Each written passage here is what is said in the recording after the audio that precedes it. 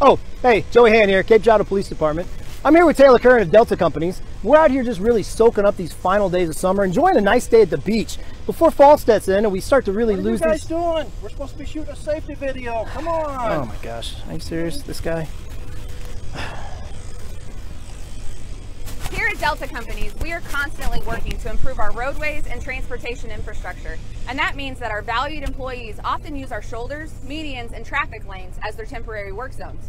The safety of our employees, as well as the general public, is a major concern here at Delta. So we would like to remind you to drive slow and exercise caution when you approach these work zones.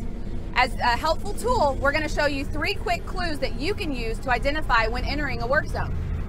Number one, road sign. Clue number two, safety cones. And clue number three, a flagger.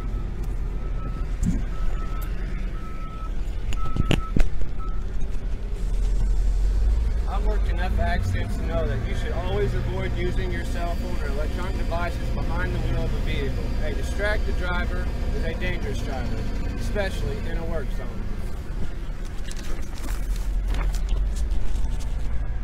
Also, make sure to merge early if a lane change is necessary. Erratic and abrupt lane changes can prove deadly, especially to bikers. Wait a minute. Nobody move a muscle. I may not get this chance again. Hold on.